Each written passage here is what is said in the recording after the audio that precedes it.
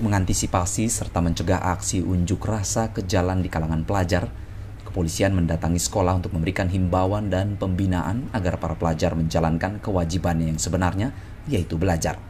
Hal ini didasari maraknya aksi unjuk rasa yang dilakukan oleh para pelajar dan mahasiswa di beberapa daerah di luar Kabupaten Majalengka yang berdampak ricuh. Para pelajar diberikan pemahaman dalam menyalurkan aspirasi sesuai dengan prosedur yang benar.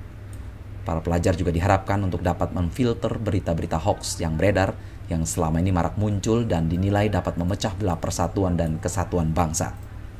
Di hadapan ribuan pelajar, aparat kepolisian sektor Kota Majalengka mengadakan dialog dan sejumlah pertanyaan-pertanyaan terkait dengan undang-undang IT dan berita hoax yang dapat menjerat para penyebar berita bohong tersebut. Pembinaan dan penggalangan ini dimaksudkan untuk menghindari aksi unjuk rasa para pelajar yang berujung ricu dan menghindari jatuhnya korban. Mengemukakan pendapat, tapi untuk berdemo-demo aksi di lapangan, saya rasa pelajar belum waktunya. Karena Kemendikbud juga mengatakan bahwa tugas pelajar itu hanya belajar dan terus belajar.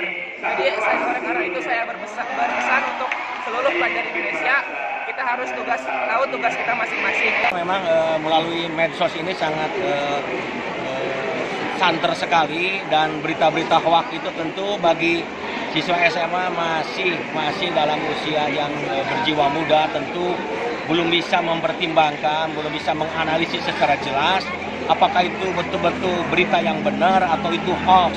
Makanya kami dengan Kapolsek selalu memberikan pengarahan bagaimana menilai berita atau ajakan yang sifatnya hoax dan yang sifatnya benar kepada mereka itu. Itulah. Dari Majalengka, Jawa Barat, Edward Ruspendi, Tribrata TV, salam Tribrata.